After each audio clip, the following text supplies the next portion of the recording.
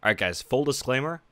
This video is only meant for the people looking to improve for themselves, not to flex on their friends. If you're just watching this video to learn how to flex on your friends a little bit better, you're just better off watching another video on how that's a complete waste of time. Also, give everything on this list at least one try. Whatever doesn't work for you, go ahead and change it. Alright, now that that's out of the way, most people come into my chat or YouTube comments asking, how do you warm up? What's your routine? It's honestly different for everyone, but 99% of the time, we just play T-Hunt. That's literally it. When people go to other Twitch chats, the streamer just tells them T-Hunt, and that's it. They don't elaborate any more on the topic. They just say T-Hunt. And for some people, that leaves them playing T-Hunt for hours every day, not playing it correctly. They play T-Hunt specifically to win the T-Hunt. They don't play the T-Hunt to improve their aim. So some tips on playing T-Hunt correctly. Number one, do not drone. Please do not drone. You're not trying to win the T-Hunt. You're trying to warm up. Just because some streamers drone in T-Hunt doesn't mean it's good for you. Now, I get it. A lot of times, for some people, they get on T Hunt, they play a couple casual games and a couple rank games, but they're just not in the mood. But here's what I do to get in the mood I step away, go get something to eat, come back, and play T Hunt with music blasting. Some of the songs that I'd listen to, I'll leave in the description, but if you don't like that music, that's completely fine. You should only be listening to the music that hypes you up. Now, one crucial step when listening to music and playing T-Hunt, don't shoot to the beat. I know it's hard at the beginning and you really want to start shooting to the beat of the song. That is not what you should be doing because shooting to the beat of the song has a similar effect to backseat gaming. While shooting to the beat of a song, you're letting that dictate how you warm up. And that brings me to another crucial point. Do not try and care about how you look while warming up. Look at it this way. If you just focus on mimicking someone else's playstyle, your own skill will be capped and you'll never be better than that person. I've said this in a previous video and I'll say it again. It's just one of those things that'll really mess with your head. Now, some people do tell me that they get in slumps because they don't know how to warm up. They play amazing in Terrorist Hunt, but they play like a bot in Ranked. And they don't understand why.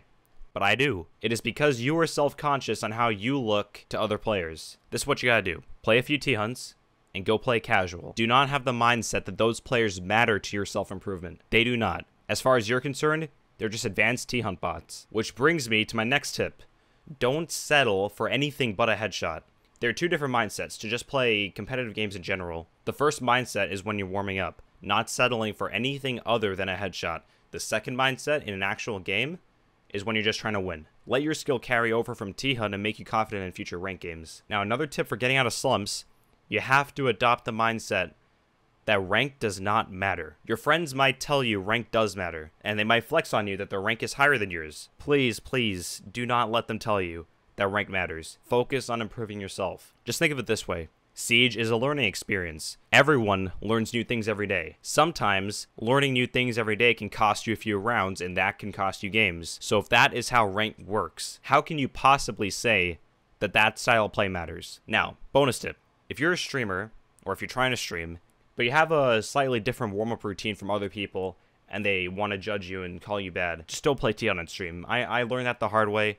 Just do not play T Hunt on stream. If you don't know what goal to set for T Hunt, set this goal. Consistently be able to flick back and forth between Terrace and T Hunt on single fire so just one tap, flick to another one, just back and forth, but make it feel like a continuous motion. You're not trying to stop in between flicks. Make it a singular motion. And by the way, another bonus tip, if you're wondering what maps to play T-Hunt on, I just play House and Border. That's it. If you don't want to play against bombers, play on Hereford. You don't have to play realistic. Normal is fine as long as you play correctly and you're just trying to warm up your aim. Say you just wake up and your hands are really stiff and you just feel really slow try some hand stretches. I'll leave a link to a video on hand stretches because a lot of League players, I don't know if you guys play League, but everyone spams their keys. They have to stretch their hands. But let's say your hands are fine. They're not stiff, they're just freezing, and that's what's making you slow. The only efficient solution that I found was going to Bed Bath & Beyond and getting a space heater for like 40 bucks. Just trust me, don't wash them in warm water, don't sit on them, because how basic science works, when you're cold, when the room is cold that you're in, your body will pull blood away from your limbs closer to the center of your body just to keep you alive. And the first to suffer are your feet and your hands. Therefore, keeping them in like warm water, getting a hand heater, is as temporary as wiping the sweat off the inside of your goggles if you're out in the middle of a desert. But yeah, I think I've covered everything on warming up. Please let me know in the comment section what kind of informal video you want me to make. I've only made this and three others. Those three others will be linked in the description. Go watch those if you haven't already. But if I haven't covered anything specifically, let me know and I'll look into it. But yeah, that's all I got. I hope you guys learned something. If you see me at the invitationals, say hi. And yeah, thank you guys all for watching, and I'll see you next time. Peace.